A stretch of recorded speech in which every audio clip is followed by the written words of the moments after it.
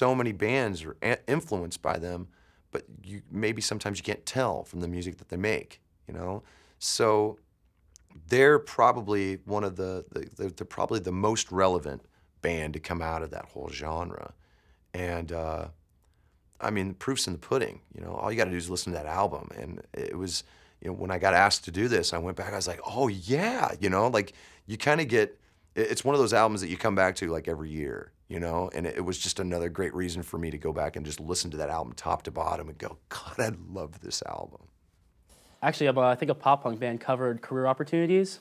Um, and I really like that version of it. So when I heard the real thing, um, you know, I started getting into more and more of their stuff, and eventually became one of my favorite bands. The trick with covering a song is capture what you love about it the most.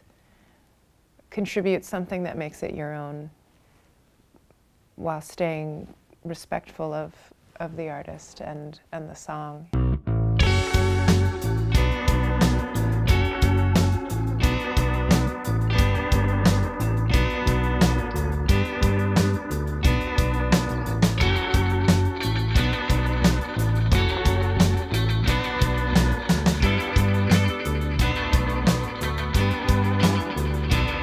when they kick out your front door.